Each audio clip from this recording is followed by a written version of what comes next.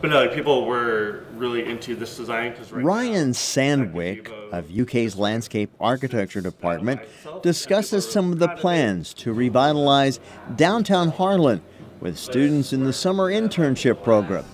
This is the second year for the program, looking at communities in the Promise Zone. It is part of a larger Appalachian Regional Commission downtown revitalization grant, focusing on Harlan. Harlan has a lot of momentum, a lot of great people and great work going on there. And so it's a really great time to come in and help support all the existing efforts going in in Harlan at the moment. There were four student summer interns in all from different backgrounds, colleges, as well as other schools, but they each brought something to the table.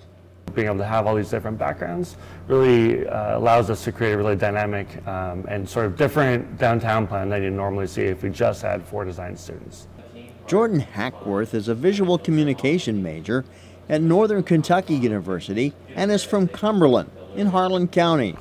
He got involved in the project because he wants to change the perception that you have to leave Harlan County to be a success.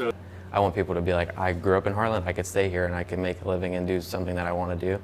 So it feels really good to try to help towards that larger goal of being able to stay there and live there for as long as you want.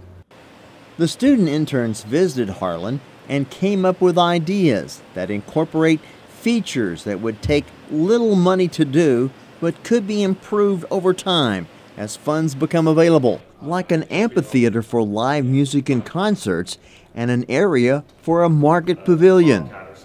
The projects we're trying to do is not just show like the five, ten million dollar projects that would be 20 to 50 years to do, but showing the things that could be done this weekend with no money and 20 sets of hands to help community achieve those larger term goals. It'll help uh, improve Harlan because there are long-term goals, which are things that they can build towards over time, but that doesn't mean that they can't work and have the nicer things now. So we kind of proposed ideas that they could incrementally work towards.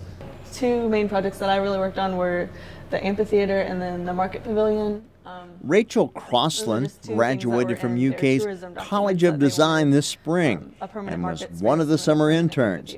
She says she learned from the others because they worked as a team.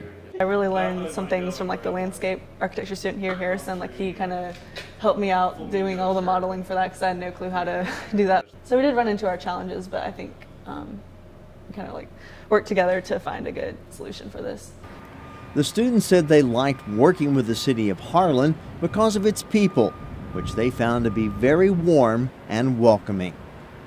From the University of Kentucky College of Agriculture, Food and Environment, I'm Jeff Franklin reporting.